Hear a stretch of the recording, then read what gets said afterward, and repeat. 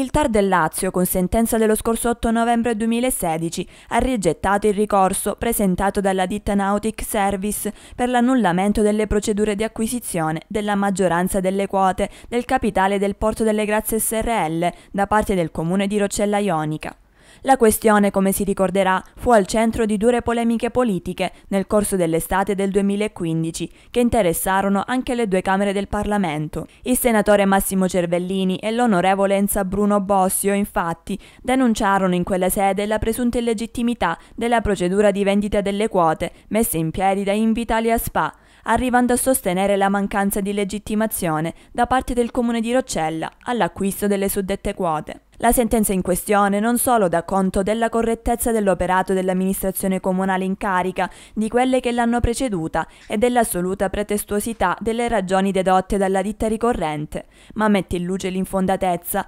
peraltro già immediatamente evidente, delle polemiche politiche innescate dal movimento di opposizione Roccella Bene Comune, e riprese dai due parlamentari, primi firmatari di due interrogazioni presentate nel 2015. Interrogazioni che tra l'altro non hanno avuto ancora ad oggi alcuna risposta.